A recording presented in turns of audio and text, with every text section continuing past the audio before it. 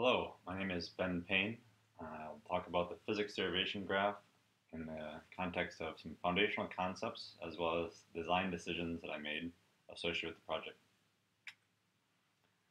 Before uh, going through this presentation, I recommend watching the why video, like why does the project exist, and then I'll just uh, explain sort of like the use cases and, and that sort of thing.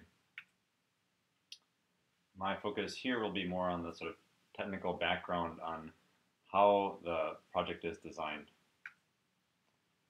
So to get started as a sort of reminder of why are we interested in this at all, uh, we'll start with expressions. So these are what most people think of when they think of mathematical physics.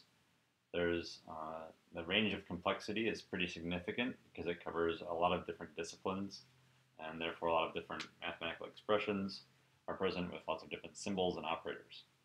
So I'll focus uh, throughout this talk on sort of a simple expression like v equals d over t, and we typically associate those symbols with uh, uh, some explanation like velocity being related to distance and time. So that's sort of what we think of as a very straightforward case. So I'm not going to get into the sort of technical details of all the different physics equations that are possible, but just keep in mind that when we're talking about relatively simple equations, they sort of have a, a huge range of complexity. So the first thing that one might think about doing is just writing down all the different equations that are known in physics. A turns out to be a very difficult task. Uh, there's a lot of variation, as I mentioned before, um, and a lot of different disciplines involved. But that's a very doable task, and it in fact has been done. Um, so there's currently on the on the internet there's a website called Search on Math, and there I have a tutorial describing that work. Uh, think of it as just they took all the many different sources of LaTeX-based mathematical expressions and wrote a search engine for them. So that's like a potentially relevant thing to do. Um, but the, my question is, what else could you do with all those different expressions? Is there is there more that could be done? So I think the answer is yes. There's a quick example of that. I'll go back to my expression here relating velocity, distance, and time. And it's not just a LaTeX expression. It's actually, uh, there's some other meanings associated with it. Like, we know that the different variables here, velocity, distance, and time, each have a dimension.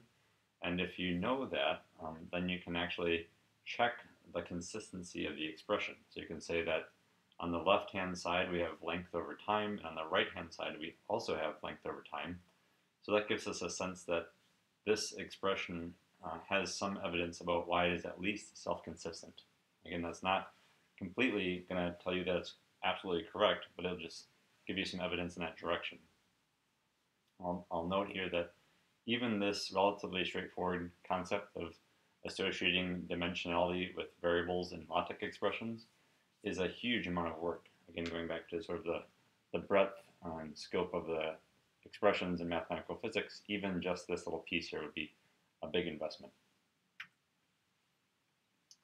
So this is relatively straightforward to understand. There's a lot of work, but what else could we do if we had all those expressions?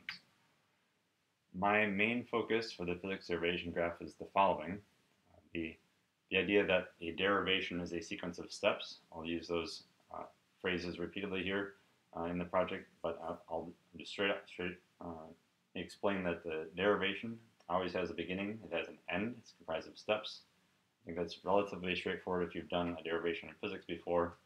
Um, the thing that um, might be a little bit different to think about is the fact that you can break down these derivations into steps, and there's a relation among the expressions. So now we'll sort of get into the nitty gritty of like, what does it mean to actually have a step in a derivation? And the, there are a couple of things that you might be familiar with and, and maybe one or two new things. So an expression basically always has a left-hand side and a right-hand side at a minimum. There are other features that you might want to include, but that's sort of the bare minimum.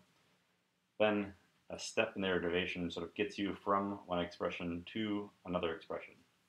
And there's some stuff between those two that we'll introduce specific to this project, the concept of an inference rule. This is like describing the how do I get from one expression to another.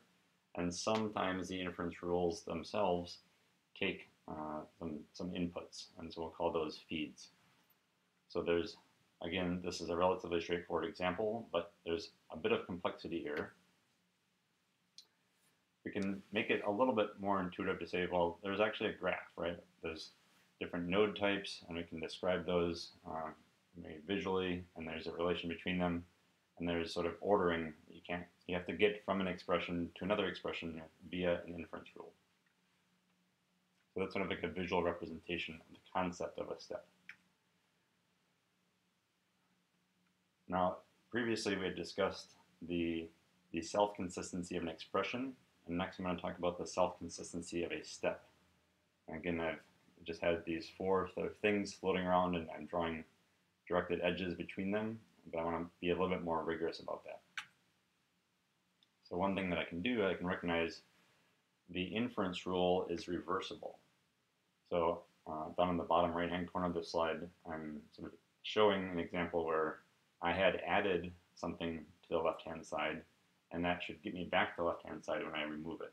So it should have the reversibility of an inference rule means I can actually validate that the left-hand side of the expression of the step is consistent and the right-hand side of the step is consistent. Again, that's necessary but not sufficient. I also need to rely on the fact that the expressions themselves are, are self-consistent. So this is sort of the concept, but now we need to go off and think about how would we implement that in software.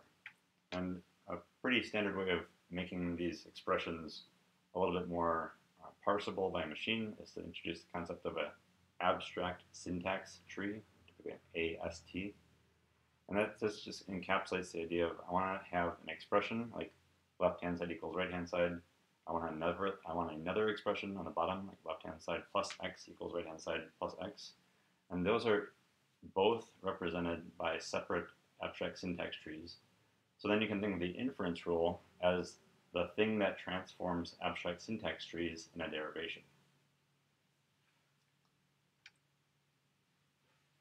You might notice that even though we have really simple equations here, we're already introducing a lot of things going on. Um, and so this is not typically how humans think about expressions and derivations. It's a very computer-oriented view of, of math. And so therefore we want to think about, well, if we actually want to make this accessible to humans, we have to think about how do we want to make it concise and readable. It's typically done using LaTeX. And we also want to be precise. We want to use something like a computer algebra system. There are lots of different ways of representing mathematical physics, often involving narrative text, which I'll refer to as prose. This is a written sort of description of what's going on. Uh, that's also very commonly used, um, but it's not very machine parsable. And then, uh, although LaTeX is an attractive sort of presentation mode, it isn't really that parsable in terms of machines. And so therefore, uh, MathML, uh, content ML, uh, are, are ways of showing the, the relations between the operators and the variables and the constants. Uh, associated with sort of which computer algebra system, there's lots of different choices there. Uh, so we have things like Mathematica, SymPy, um, and others. And what I care about as a sort of project owner here is I want software that other people would be able to use, independent sort of of their their budget. Um, and, and I want to be able to inspect what's going on in, in the computer algebra system. So uh, for these reasons, um, I went with SymPy as a, my choice of what I'm going to use, and I also use LaTeX. So those are two um, big choices that I've made here. And there's a third one, which is which one of those is the primary representation, or how does the user sort of input things. So the choices are, they could either provide the LaTeX, and then the computer tries to figure out, or maybe it's assisted by the human, how do I represent that precisely in something like SymPy? Or you could say, let's have the user provide the SymPy, and from that we can generate the LaTeX. So either of those choices are, are sort of not good in the sense that they have problems. Um, and so because I'm biased towards making the project easy to use from my user standpoint about how to get things into the physics derivation graph, I've selected the input LaTeX first, and then if we if we can or have the time to, we'll convert those LaTeX expressions into SymPy. So another design decision that I was faced with is how do I track all these different things going on? And I realized that the expressions and the representations, like whether it's LaTeX or SymPy, it actually doesn't matter. All we want is that there's some way of identifying an expression. And so to sort of make the, the expression independent of representation, I've associated a numeric ID associated with that expression. And everything else in the same graph gets an expression ID. And those are unique to the node. That's just for ease of use when we're manipulating the graph, so independent of how we represent the content in the node. All right, so given these sort of uh, ways of going uh, between the expression, the representation of the expression, and the graph, um, we can think back to a, a, derivation is really a sequence of steps. And from that, you can realize there's a graph that's going on in the background. And if you really want to get fancy, you can think of, well, what if I have multiple different derivations and some of those derivations share the same expression? Uh, and so therefore you might want to have something more complicated like this. That becomes a little problematic when you want to describe the same, the, the same derivations in one document. And so therefore what we introduce um, is yet another variable to say, for a given expression, which derivation are you referring to it in? And so that local ID forms another index. So putting that all together, uh, you can recall that a derivation is graph of steps, inference rules transfer expression, transform expressions in a step, and everything gets a unique ID.